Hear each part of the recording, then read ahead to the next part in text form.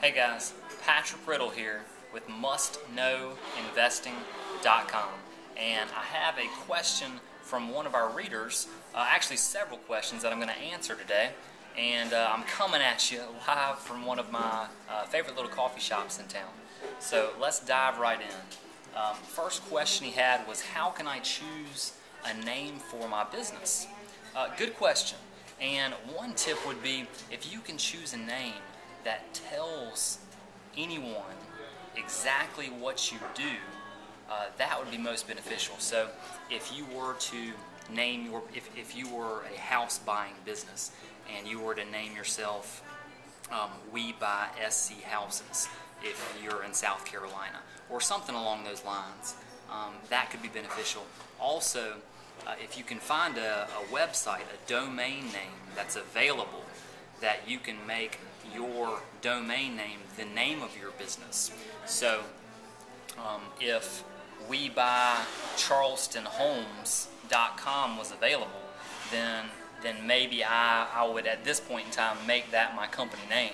Because then you do two things. You tell people your company name and you also direct them to your website. So there's some ideas there.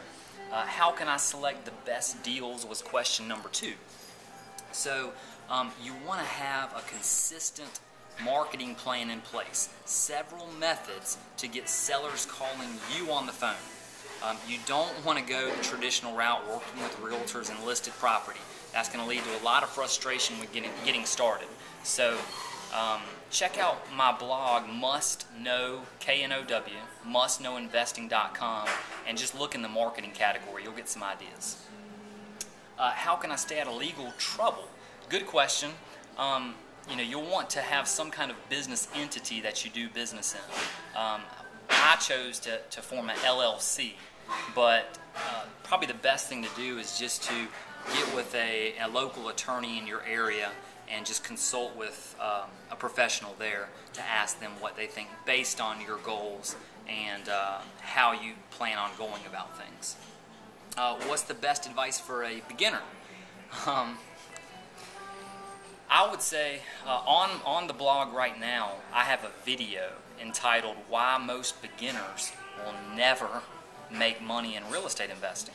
And I, I go through step by step um, how I got started the wrong way, uh, how I was able to turn things around, and kind of the missing link that's in all the other real estate investing courses out there. So go to the blog, it's free, it's a 60 minute in depth tutorial. Sign up for that, uh, that's going to help you out. Uh, is it good to be with more than one website? He lists a couple um, that he goes to regularly. Is it good to be a master at all trades or an expert at one? Um, I would recommend, based on your financial circumstances, based on your goals, to determine one strategy that you want to implement first.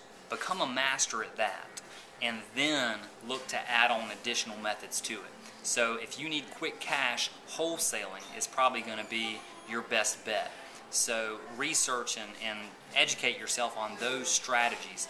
Learn it, do it, become excellent at it, then look to add on additional strategies.